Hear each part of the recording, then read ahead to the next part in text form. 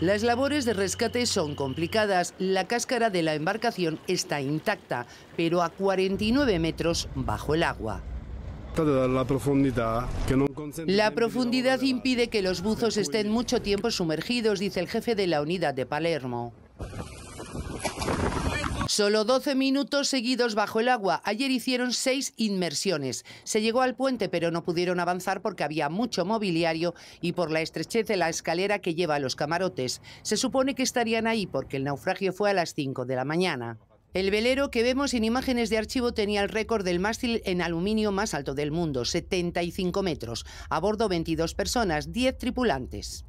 El anfitrión, el empresario Mike Lynch, conocido como el Bill Gates británico, dos veces en la lista Forbes de los más ricos. Se le busca junto a su hija de 18 años. Su esposa fue rescatada. También desaparecido el presidente del banco Morgan Stanley International y su mujer, y el abogado Chris Morvillo, que trabajó en los atentados de las Torres Gemelas. La nota positiva al rescate de Charlotte, su marido y su hija de un año.